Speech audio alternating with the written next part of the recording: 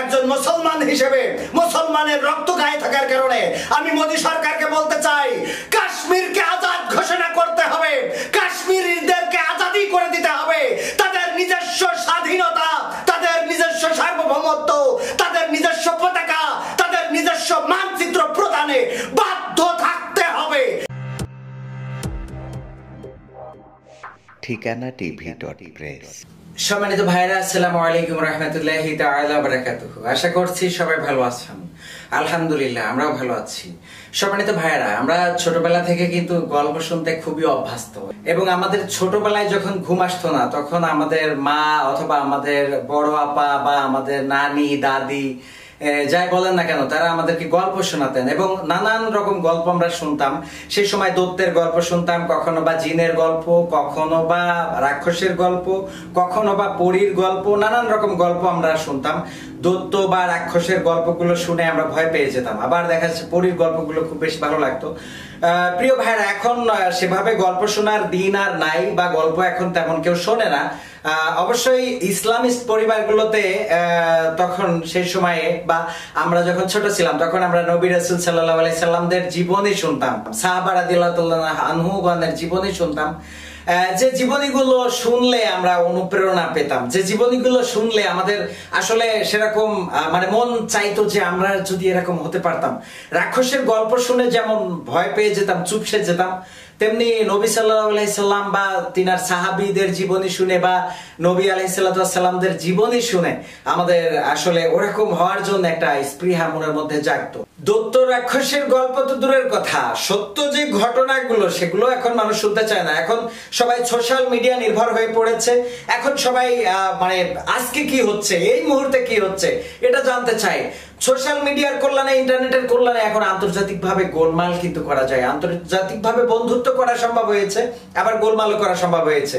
এখানে একজন আরেকজনকে কীভাবে ছোট করবে, একজন আরেকজনের অপরাধ কীভাবে প্রকাশ করবে বা অপপ্রচার করবে, নানান রকম চক্রান্ত বা নানান রকম ষড়যন্ত্র বা নানান রকম প্ল্যান, প্রোগ্রাম নিয়ে আজকে মানুষ ব্যতিব্যস্ত। এবং এগুলো খুব বেশি ভিউজ হয় এবং এগুলো মানুষ দেখে বেশি। যাই হোক আমি ওসব বিষয় নিয়ে তো কথা বলতে চাইনি। আমি যে বিষয় নিয়ে কথা বলতে চাই, মুহাম্মদ বিন কাসিম, বাগদাদ থেকে তিনাকে পাঠানো হয়েছিল ভারতের সিন্ধু অভিযানে। এবং এই সিন্ধু অভিযানে হাজ্জাজ ছয় হাজার অশ্বারোহী এবং পদাতিক সৈন্য দিয়ে তাকে সেনাপতি করে পাঠিয়েছিলেন। সতেরো বছর মাত্র বয়স ছিল এই মোহাম্মদ বিন কাসিমের। মোহাম্মদ বিন কাসিম যখন বাগদাদ থেকে ভারতে আসবেন, তখন তিনি এই চিন্তা করেননি যে এই ভারতে যাওয়ার পথে বাগদাদ থেকে এত দূরের পথ, না জানি পথে কোন বিপদে পড়ি, না জানি এই পথে কোনো শত্রুর মোকাবেলা করতে হয় কিনা বা কোনোভাবে অ্যাটাক হয়ে যায় কিনা। খাব, খেয়ে থাকতে পারব নাকি না খেয়ে থাকতে হবে? পানির পিপাসায় মরতে হবে নাকি পানি পাওয়া যাবে। এমনকি আবহাওয়ার সাথে বাগদাদের আবহাওয়া এবং ভারতের আবহাওয়ার সাথে মিলবে কিনা, সকল দুশ্চিন্তাকে উপেক্ষা করে এই সতেরো বছরের যুবক তিনি ছয় হাজার অশ্বারোহী এবং পদাতিক সৈন্য নিয়ে সিন্ধু অভিযানে বের হন এবং ফলাফল হলো রাজা দাহির নিহত হন।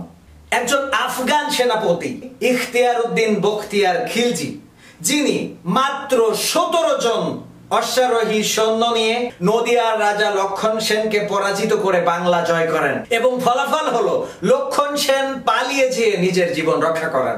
সম্মানিত ভাইয়েরা, তেরোশো তিন খ্রিস্টাব্দে আমাদের জন্মভূমি, মাতৃভূমি বাংলাদেশের সিলেট অঞ্চলে ইয়ামেন থেকে আসেন শাহজালাল রহমাতুল্লাহ আলাইহে, যার কবর এখনও সিলেটে রয়েছে।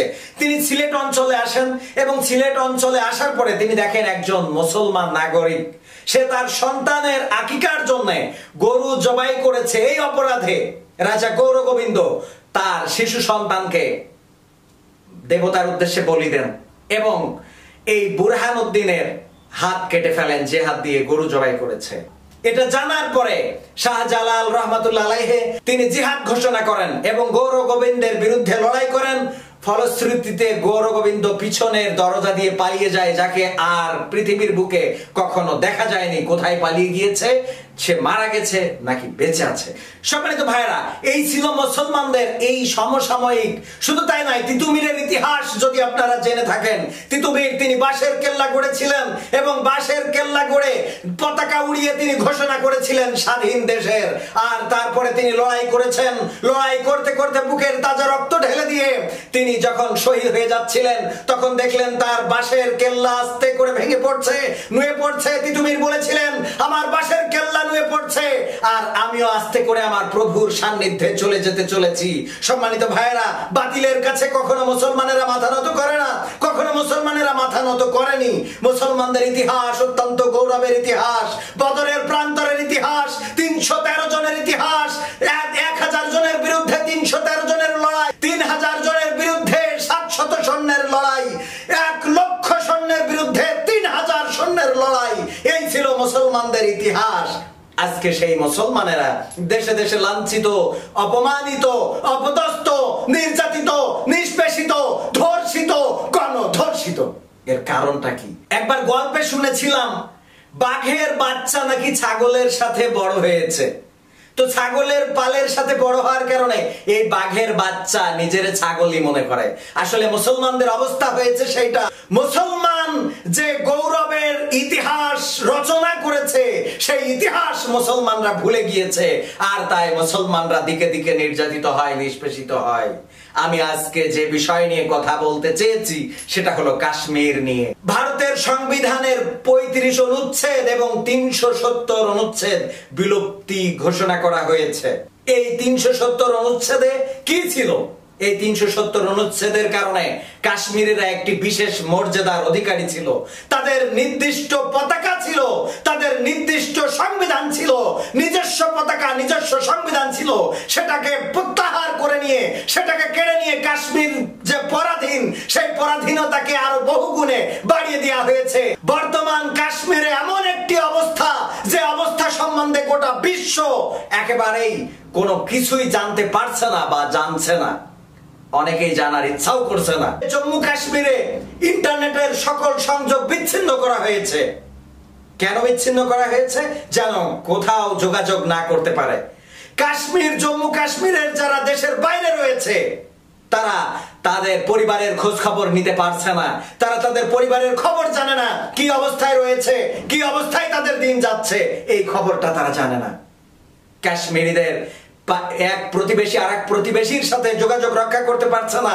এক আত্মীয় আর এক আত্মীয়ের সাথে যোগাযোগ রক্ষা করতে পারছে না। ভারতের মোদী সরকার শুধুমাত্র নেটওয়ার্ক বিচ্ছিন্ন করেই ক্ষান্ত হন নাই।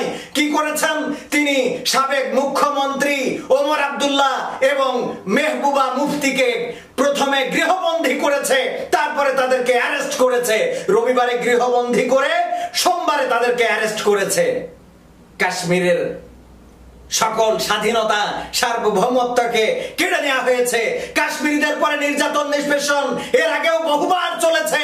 সুন্দরী মেয়েদেরকে ধরে ধরে তাদেরকে ধর্ষণ, গণধর্ষণ করা হয়েছে। তাদের স্বাধীনতা বলে কোনো কিছু ছিল না।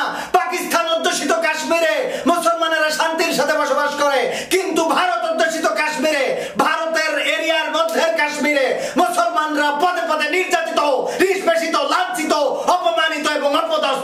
হচ্ছে একের পর এক। এই মোদী সরকার বর্তমান সময়ে নেটওয়ার্ক বিচ্ছিন্ন করে দিয়ে, কাশ্মীরের সাথে গোটা বিশ্বের যোগাযোগ বিচ্ছিন্ন করে দিয়ে মোদী সরকার প্রমাণ করেছে। এই মোদী সরকার কোনো মানবতার সরকার নয়। এই মোদী সরকার কোনো মানবিক সরকার নয়। এই মোদী সরকারের মধ্যে কোনো মনুষ্যত্ববোধ নাই। বর্তমান সিচুয়েশনে কাশ্মীরের সকল নেটওয়ার্ক বিচ্ছিন্ন করে দিয়ে তাদের, তাদেরকে এক ঘরে করে রাখা হয়েছে। শুধু তাই নয়, সেখানে কোনো নির্যাতন, নিষ্পেষণ চলছে কিনা সেটাও বলা মুশকিল। সম্মানিত ভাইয়েরা, যাই হোক, কাশ্মীরে যেটাই ঘটুক না কেন, তার জন্য অনেকাংশে দায়ী এই মুসলমানেরাই। কাশ্মীরিদের স্বাধীনতা যখন কেড়ে নেওয়া হয়েছে, তখন বিশ্বের মুসলিম দেশের নেতাদের কোনো সোচ্চার ভূমিকা নেই।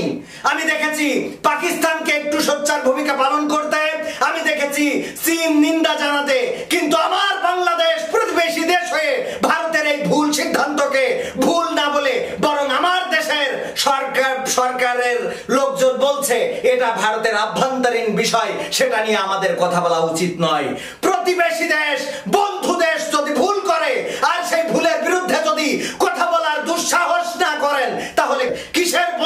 আমাদের এই ভারত, সম্মানিত ভাইয়েরা, ভারতের বিরুদ্ধে আমাদের কোনো আমাদের কোনো আক্ষেপ নেই, ভারতের বিরুদ্ধে আমাদের কোনো সংগ্রাম নেই, ভারতের বিরুদ্ধে আমাদের কোনো আন্দোলন নেই। এই মোদী সরকারকে হুঁশিয়ার করে বলে দিতে চাই, মুসলমানের রক্ত নিয়ে খেলা করবেন না, মুসলমান যদি জেগে ওঠে মুসলমান যদি এই ঘুমন্ত অবস্থা থাকে জেগে ওঠে তাহলে গৌর গোবিন্দের মতো মোদী সরকারকেও ভারতবর্ষ ছেড়ে পালিয়ে যেতে হবে যেতে বাধ্য হবে আল্লাহ রাব্বুল আলামিন আমাদের সম্বন্ধে বলেছেন, ইন্নাল্লাহা ইউহিব্বুল্লাযিনা ইউকাতিলুনা ফি সাবিলিহি সাফফান কান্নাহুম বুনিয়ানুম মারসুস। আল্লাহ রাব্বুল আলামিন তো তাদেরকেই বেশি ভালোবাসেন, যারা তার পথে সীসা গালানো প্রাচীরের ন্যায় সুদৃঢ়ভাবে সংগ্রাম করে, লড়াই করে, জেহাদ করে। মুসলমান আমাদের মানচিত্রের সীমারেখা ভিন্ন ভিন্ন হলেও, আমাদের মুখের ভাষা ভিন্ন ভিন্ন হলেও, আমাদের দেশ ভিন্ন ভিন্ন হলেও, মুসলমান এক জাতি, এক গোষ্ঠী ঐক্যবদ্ধভাবে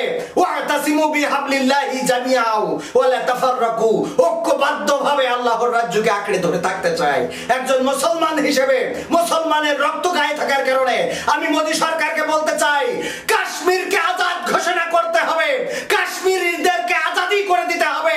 তাদের নিজস্ব স্বাধীনতা, তাদের নিজস্ব সার্বভৌমত্ব, তাদের নিজস্ব পতাকা, তাদের নিজস্ব মানচিত্র প্রদানে বাধ্য থাকতে হবে।